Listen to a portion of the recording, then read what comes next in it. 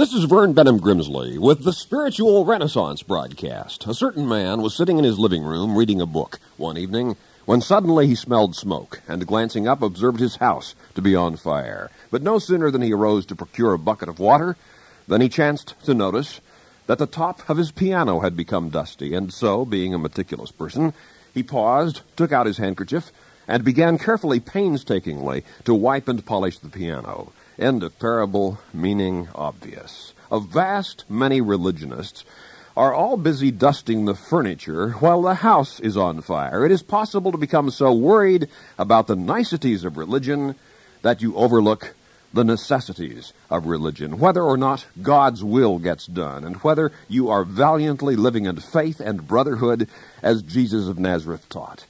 So short sightedly does humankind forget the living presence of God. When you have shut the doors and made a darkness within, says Epictetus, the ancient Greek philosopher, remember never to say that you are alone, for you are not alone, for God is there. And Clement of Alexandria in the second century described with poetic insight the effect of spiritual vision upon the tasks of the common life. And I quote, Holding festival, then, in our whole life, persuaded that God is altogether on every side present, we cultivate our fields praising. We sail the sea hymning. In all the rest of our conversation, we conduct ourselves according to rule. That joy of life may be yours. Because Jesus said, I've come that you might have life and have it more abundantly, more happily, more joyously. Gerald Kennedy wrote, Religion can cure worry. It can free a man's mind. For the religious man can leave something always to God. After he has done his very best, he can say, Now it is God's turn. Jesus said, Fear not, be not anxious, let not your heart be troubled, neither let it be afraid. The love of God for you is powerful. It can transform your life. Some cynics and critics say that religion makes no real difference. But the religion of Jesus is love. And any person truly possessed by the power of love is transformed forever by it. Witness the way for the love of a woman. A man is capable of changing his ways and living a different life. Love possesses renewing power. And if the love of a good woman can change a man and vice versa, then just think for a moment what the mighty love of the living God can accomplish in your human life. To feel the truth, to experience the truth, that you are infinitely loved by the infinite God will not leave your life as it has been in the past. It will renew you. Your ability to love another person is something divine in you. People talk about falling in love, but you don't fall in love. You rise to love. For love is not the lowest in you, it is the highest. For love is spiritual. Love is of God, and God loves you. It's not so important that you love everybody beginning tomorrow morning, but rather that you learn to love one more person every day or every week. But expand that circle of your love. I remember one time in an old movie, I saw the late internationally beloved cowboy performer Will Rogers doing rope tricks. And in one of them, he began by spinning his lariat in a small circle, and when it was going smoothly enough, he jumped inside of it. For a while there was only room in it for himself, but then he began feeding more and more rope into his whirling lariat, and the circle grew wider and bigger, ever wider and larger, and as that revolving lasso began expanding, other performers, one by one, started jumping into that spinning circle of rope along with him. So, love, which may begin as a small circle of self love, which you spin around yourself with no room for anybody else, but which, if you will, you can widen and expand until there is space in it for more and more, until indeed the circle of your love has become, for all intentions, the very equator of this earth, and one day in eternity the circumference of this universe itself. Such was the circle of Jesus' love and infinitely such is the circle of God's love as well. It is universal, unlimited for everyone. Jesus said, even to love your enemies. He said, What is so unusual about loving your friends, doing good to those who do good to you? He said, Love those who speak ill of you desire good for them, and thus glorify the Spirit of the living God. Don't put your light under a bushel, but let your light so shine that men may see your good works and glorify your Father in heaven. Life is too brief to live it in hatred.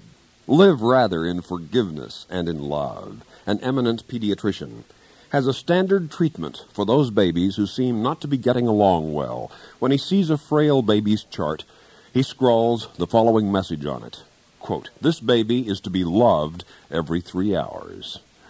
But newborn babies aren't the only ones who need affection. This feeling of loneliness and insecurity leads to many of humanity's physical ills. So when you care for others, you have discovered the secret of love, no matter how the philosophers talk about and theorize about love. There will always be something left unsaid. Suffice it to say, the highest joy in life is loving and being loved.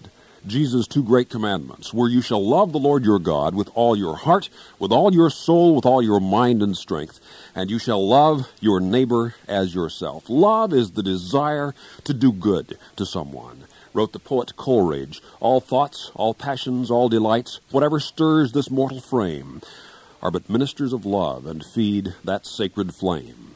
Benjamin Franklin wrote, If you would be loved, love and be lovable. It is written in the Scriptures, There is no fear in love, but perfect love casts out fear. And the statesman Benjamin Disraeli said, We are all born for love. It is the principle of existence and is life's only end. Swedenborg said, Love, in its essence, is spiritual fire. And it is written, Many waters cannot quench love, neither can the floods drown it. Some spiritual consciousness exists within each one of us however we may describe it, God has given a fragment of himself to indwell us, each and all. Said Jesus, the kingdom of God is within you.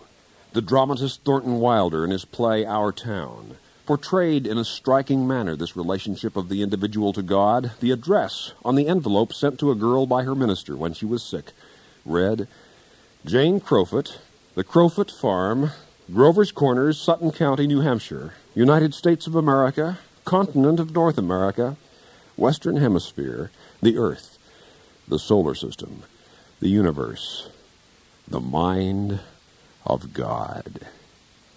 You too are a member in this vast and starry, universal family of God. God loves you. God has transforming power for your life available this moment if you will claim it. It is written in the portrayals of the life of Jesus that he went into Jericho and was making his way through it. And here we find a man called Zacchaeus, a chief collector of taxes and wealthy, wanting to see what sort of person this Jesus was. But the crowds prevented him from seeing him, for he was a very short man. So he ran up ahead and climbed into a sycamore tree to get a view of Jesus as he was heading that way. And when Jesus reached this spot, he looked up and he saw the man and said, Zacchaeus, hurry up and come down, for I am going to be your guest today. Zacchaeus hurriedly climbed down the tree and gladly welcomed Jesus, but the bystanders muttered and murmured their disapproval, saying, now he's gone to stay and have lunch with a sinner. But Zacchaeus himself stopped and said to Jesus, I will give half my property to the poor, and if I have swindled anybody out of anything, I will pay him back four times over. And Jesus said to him, Salvation has come to this house today.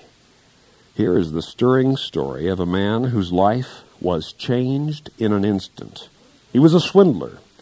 But when he saw that this Jesus of Nazareth could still care about him and love him, he became so inspired that his life was changed from that moment forth. So may your life be transformed. The Apostle Paul wrote, Be you not conformed to this world, but be you transformed by the renewing of your mind.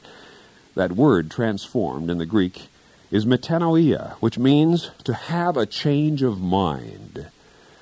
God can change your mind, your emotions, the way you think and feel and act and react, so that it's with love, it's with peace of heart, peace of soul, long suffering, forbearing, kindness, patience, tolerance, control of temper and anger, perspective, compassion, forgiveness, mercy, calmness, the desiring of good for everyone. These are fruits of the Spirit which will manifest themselves in your life when you give yourself wholeheartedly, holding nothing back, nothing in reserve, laying your life on the line, saying, God, here am I. Take me, use me, do with me as you will, whatever it is your will that I should speak or do or become. You have all of my life, all that I am, all that I ever hope to be. I commit to you. It is my will that your will be done. Your life will be transformed, and you will be renewed in your inner heart and soul to become the person God created you to be. In one little town in the southwestern corner of my home state of Kansas, there was a fellow everybody called Old Bill. He was the town drinker and ne'er do well. But then one night, somebody took Old Bill to a prayer meeting. And the next day, when a friend of his came up to him on the street and said, Well, if it isn't Old Bill. No, he said, it isn't Old Bill. It's New Bill. He said, Because I found God last night, and today I am brand new. God likewise can change your life if you will give it to God and pray with all your heart the prayer, Your will be done.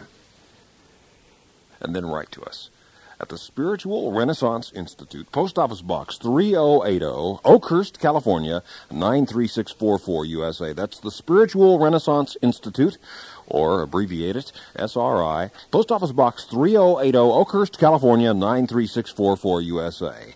I've written Finding God, Getting to Know God, Growing Spiritually, Seven Principles of Prayer. All this literature yours with no cost, charge, or obligation. For those of you listening in other countries around the world, over our international satellite and shortwave network, let me spell the mailing address, Post Office Box 3080 Oakhurst, O-A-K-H-U-R-S-T, California, C-A-L-I-F-O-R-N-I-A, 93644 USA.